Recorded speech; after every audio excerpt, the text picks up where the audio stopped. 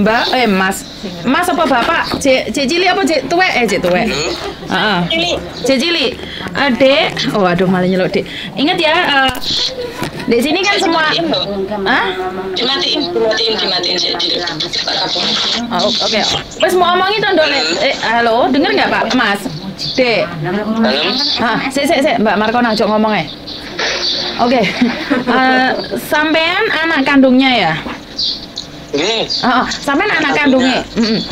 Sampean punya datanya ibumu nggak? Punya KTP-nya Hong Kong atau paspornya setidak-tidaknya ada nggak? nggak nggak nggak punya kalau KTP Indo ada kalau Hongkong nggak punya soalnya nggak tahu berkasnya di mana nggak pernah di Aduh. di, wah, di rumah nggak ada mbak Aduh, pern, kan dibawa semua sama ibu pern, eh, di Hong Kong berapa lama ibumu?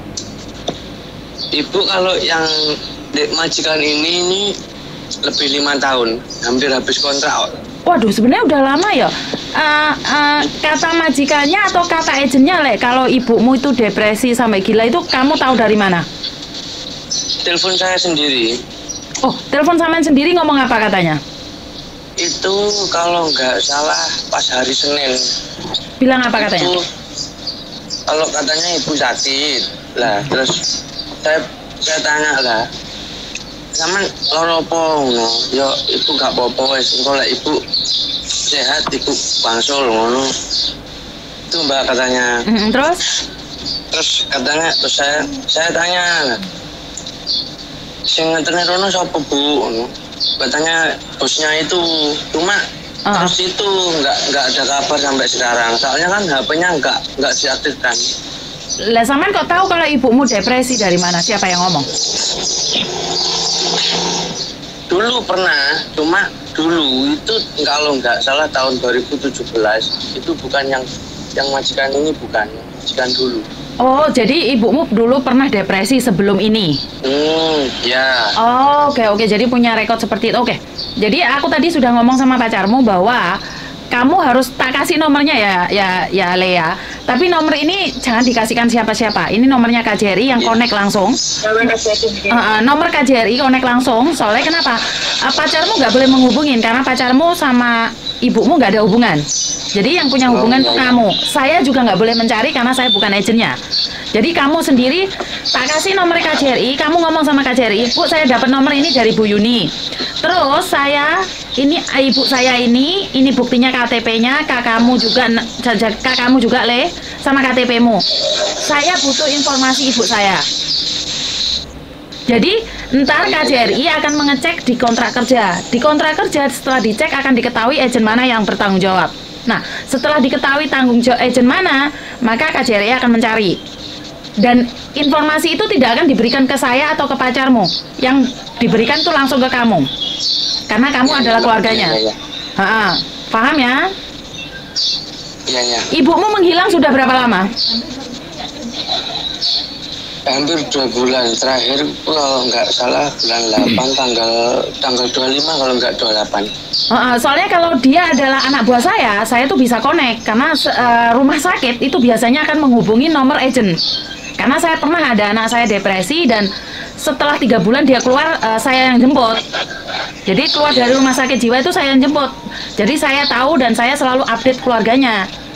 Tapi saya tidak tidak tahu kenapa agennya tidak mencari kamu. Karena sebagai agent, kalau kita ada masalah, kita selalunya menghubungkan keluarga. Kita selalunya cari keluarga. Iya, iya. Ya, jadi kamu sekarang tak Mm-mm, gimana? Ya kalau kalau kalau yang dulu memang itu ada yang menghubungi, menghubungi saya gitu ya. Tapi yang sekarang nggak ada. Yang kalau yang sekarang itu nggak ada kabarnya. Ibu saya pun di sana itu juga bingung, nggak nggak bisa ngubungi soalnya kan nggak tahu KTP-nya ibu yang di Hongkong gitu, nggak tahu rumahnya majikannya gitu juga. Oke, se- pertama, na- nama dia ganti nggak sayang? Nama dia asli bukan? Nama namanya ibu asli Sulastri. Oh, Oke, berarti berarti ti- tidak ada masalah. Ada, kartu, kartu, kartu nganu lah, kartu tenaga kerja TKW itu loh. Oh iya, langsung aja kasih dek pacarmu, dok. Pacarmu yang pacarmu satu orang yang tak kasih nomornya. Ya itu itu kemarin saya yang saya yang ngirim ya mbak. Oh oke oke. Sama ya, Ah, kirim nanti aku tak dulu ya. Kartu apa ini? Bisa dilihat nggak? sudah ada, sudah tak kirim loh. Kalau dia punya kontrak kerjanya aja, aku bisa. Oh oh.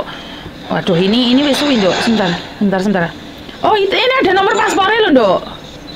Hah? Ini pacar kan? Ah, nomor paspor. Oh iya, iki iki, iki, iki kirim di anu le, kirim di KJRI le. Iki nih barang. Heeh. Terus KTP-mu, KTP KTP nya ibumu, terus kakak. Kakak yang ada namanya ibumu dan ada yang kakakmu. Jadi kalian punya hubungan keluarga. Sa- oh ya soalnya kalau yang kakak lam kakak sama saya itu Sudah pisah? cariin dulu soalnya kan saya pernah nikah kakaknya itu kan Pisah. Iya pernah bisa cuma ada yang yang lama ada kok Ayo cari yang lama le, terus saya kasih nomornya KJRI ke kamu ya. iya iya iya Heeh. Sekarang tak kasih no, tak se- simpen nomormu ya. iya iya Lek kamu nggak nggak ada connect, maksudnya nggak nggak di direspon, kamu ka- kasih tahu aku, Eh, aku akan memberitahukan pada KJRI juga. I- iya iya Nah, kalau kamu nggak direspon selama seminggu, kamu ngomong sama aku, aku akan laporan Iya, ke iya, KJRI iya. langsung. Walaupun kamu bukan, eh, walaupun ibumu bukan anak buahku, tak bantu ke, ke KJRI. Hah? Aku nggak bisa bantu, aku bisa bantunya dari Mbak Yuni gitu loh. oh iya iya Ah, ntar, ntar pacarmu kalau masalah ngurusin jemputnya atau apa, ntar pacarmu yang tak serahin. Dok, bikinan grup aja dok, aku sama pacarmu dok. Jadi aku ben gak bingung koken koken SMS Oke. masuk. Ngomong ah. Sih. Ah, ah, iya, jadi iya. jadi ntar ada informasi itu secepatnya kalian bisa tahu jemput di rumah sakit kah atau seperti apa itu itu biar kita bisa update bareng. Oke?